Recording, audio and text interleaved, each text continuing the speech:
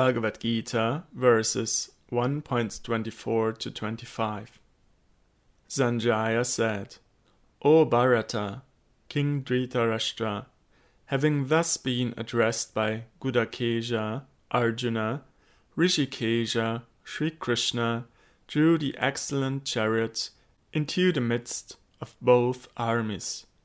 In the presence of all the kings and prominent personalities like Bhishma and Drona, he then said, O Partha, just behold this assembly of Kurus. Sarartha Varshini Rishikesha means the controller of all the senses. Although Krishna is Rishikesha when he received orders from Arjuna, he became controlled by Arjuna's sense of speech alone. Ao, Bhagavan is controlled only by prema.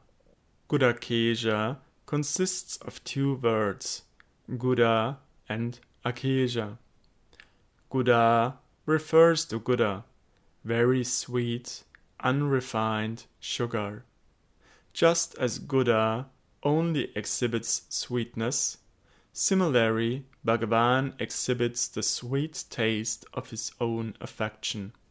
Akesha refers to the manifestations of the Lord who preside over the modes of nature, called guna avatars Vishnu, Brahma, and Mahesha.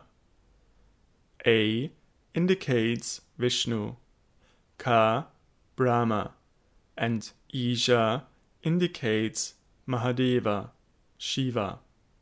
How can these parts or guna avatars manifest their majesty before Arjuna? Considering that out of prema, Swayam Bhagavan Sri Krishna, the crest jewel of all incarnations, obeyed his orders. Instead, they consider their lives to be successful by manifesting the sweetness of their affection towards Arjuna, who is therefore known as Gudakesha, one who receives sweet affection from the three guna avatars.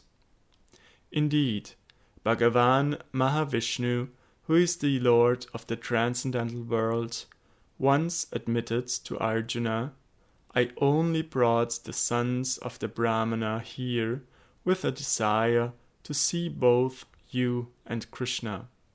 Srimad Bhagavatam 10.89.58 Gudaka also means sleep, and one who has control over sleep is called Gudakesha.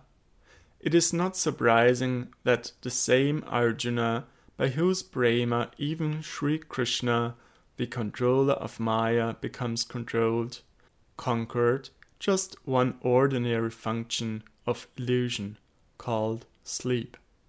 This is its hidden meaning. Bhishma, Drona, Pramukhataha means in front of Bhishma and Drona, and Sarvesham Mahikshitam means in front of all the other kings also.